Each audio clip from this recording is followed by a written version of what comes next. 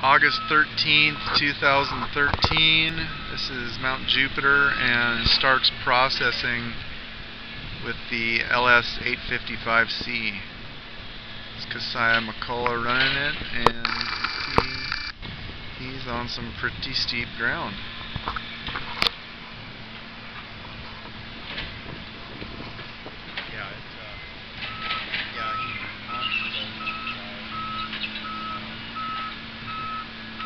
Eric's got his own side. Eric runs the tower crew.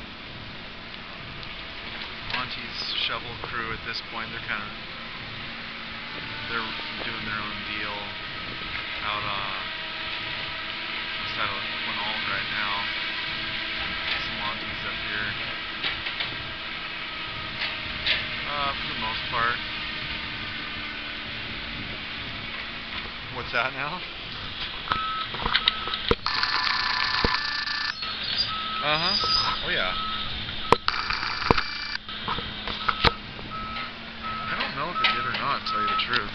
I actually I shouldn't say that. I'm not sure to what degree they talked about things. Oh man, yeah, this guy's off the easy.